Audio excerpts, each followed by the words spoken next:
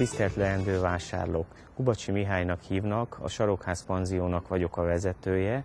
2006-ban a Termo Kft-től vásároltam hőszivattyút, ami kútból nyert víz segítségével fűti az épületünket, és a mögöttem lévő napkollektorokat is a nevezett cégtől vásároltam.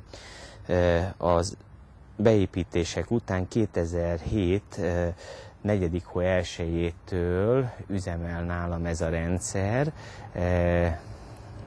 A hosszas tanakodás után jutottam erre a döntésre, hogy belevágok egy ilyen vállalkozás, beruházásban, mivel hogy a 2006-2005-ös években e, e, Magyarország gázellátása már láthatóan e, nehéz helyzetbe került, és tanulmányoztam a leírásokat, és döntöttem, hogy a Lederer úrtól megveszem ezt a berendezést. 2007 negyedik havától a berendezés, ez egy német gyártmányú készülék, ragyogóan működik a mi kis panziónkba.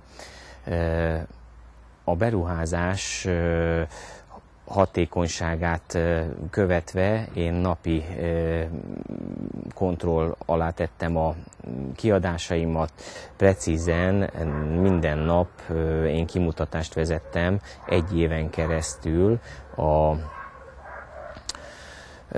villamos energiafogyasztásról, és ebből mm, az az eredmény jött ki egy év után, hogy 65 kW per napi fogyasztáson volt, ami napi 2-2,5 ezer forintos energiaköltséget jelent, ami mm, gyakorlatilag nekem van egy hasonló méretű épületem, ahol földgázzal fűtök, és gyakorlatilag ott a négyszereséből tudom ezt, ezt megoldani, ezeket a költségeket. Ezek a kimutatások gyakorlatilag megvannak. Én ezt a Termo Kft. vezetőnek, a Léderer András úrnak át is adtam, és ajánlottam neki, hogy az elkövetkezendő vevői is hasonló kimutatásokat végezzenek, és akkor saját magukat is meggyőzik, hogy jó irányba indultak el.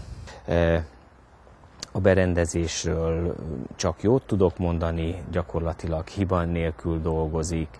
E, a tapasztalat az, hogy e, a beruházás az egy elég nagy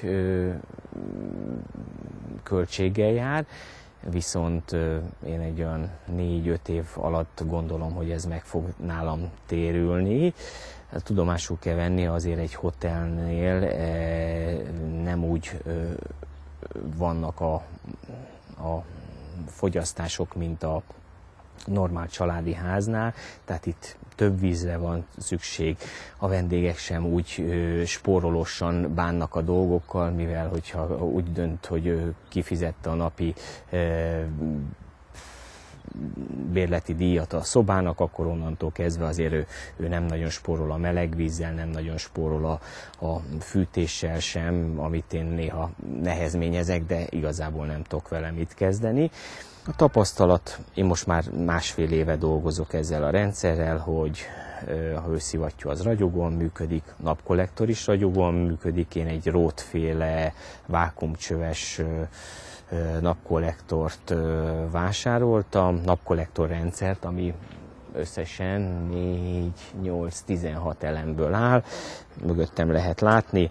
Gyakorlatilag a napkollektoros beruházást azt így a másfél éves tapasztalat után úgy látom, hogy az, annak a megtérési költsége az kicsit hosszabb, az legalább egy 10-12 év lesz, mivel hogy nálam a vendégek meleg víz használata és a fűtési igények azok mm, úgy alakulnak, hogy mondjuk este 8 órakor megérkeznek a vendégek nagy része, éjfélig fürdenek, fűtik a szobát, és így van, ekkor mondjuk a, a melegvíz tartályomban lévő víz az elkezd fogyni, automatikusan, mikor érzi a, az érzékelő, hogy 42 fokos alá esik a vízhőmérséklet, hőszivattyú beindul, megmelegíti a vizet újból 48-50 fokosra, tehát ekkor a napkollektor az nem tud segíteni a,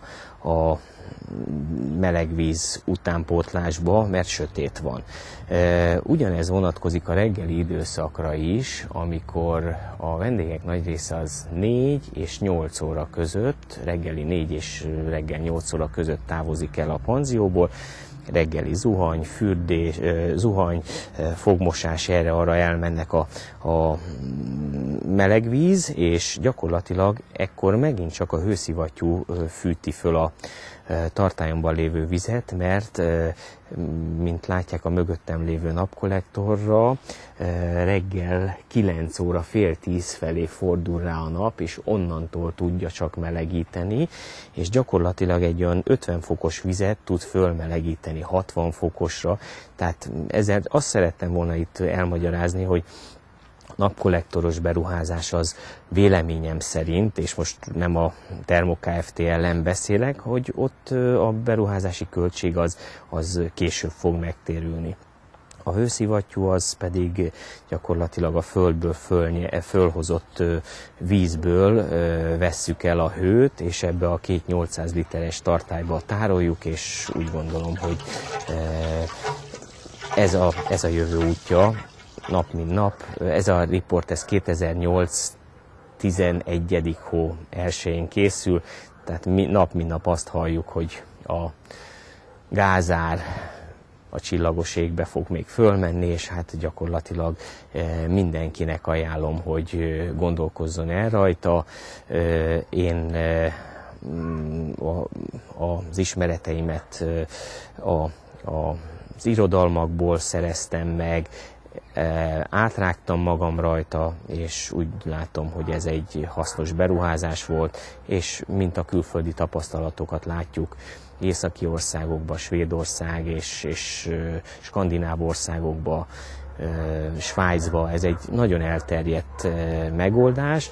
Nálunk a magas beruházási költség miatt valószínű, hogy meg az itt lévő gazdasági helyzet miatt nehezen terjed el, e, viszont az is egy nagy probléma, hogy, hogy ezt véleményem szerint az államnak egy kicsit támogatni kellene, de, de hát erre most még nem nagyon látunk lehetőséget. Én legalábbis nem tudtam ezt ebbe, ebbe a részbe belenyúlni, de mindenkinek azt merem mondani, hogy bátran vállalkozzon, mert, mert ez a jövő útja. Köszönöm, hogy elmondhattam.